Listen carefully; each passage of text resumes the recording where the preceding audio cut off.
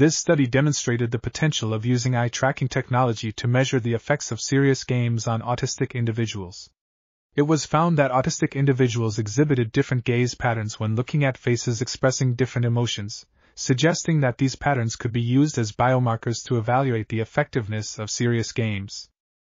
Additionally, the study showed that prolonged saccade durations and shorter fixation times for social related facial emotion expressions were found in preadolescents and teenagers with autism, indicating that these atypical gaze patterns may be indicative of improved social and cognitive functioning during gameplay.